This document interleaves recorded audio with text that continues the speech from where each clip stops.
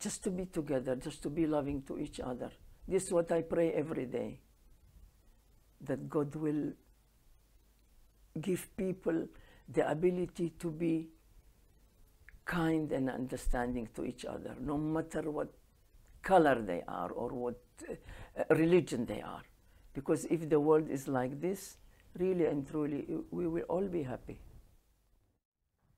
I really would like to see people thinking more for themselves and be courageous enough to say what they want to say and let other people respect other people's views and not try to impose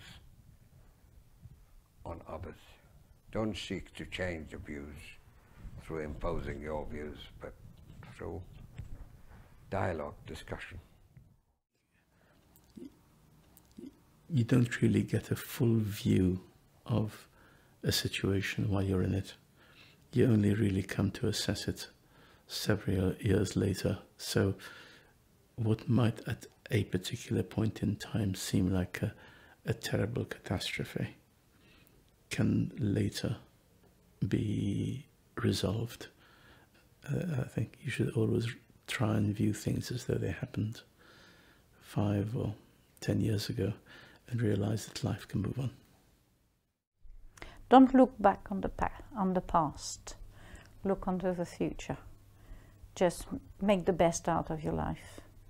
And don't pine too much because then mm, you just don't move forward, you don't move forward. But you have to adapt to your circumstance and not pine for the past. That's, that's the best I can say. I think it's very important to keep one's idealism. Uh, I think as life uh, teaches you that there are obstacles in its way, uh, it's very important to persevere in being idealistic uh, because at the end of the day, it's crazy idealistic people who improve yeah. situations, not the cynics and the skeptics. Um, enjoy your life as much as you can. You don't know what's going to happen tomorrow.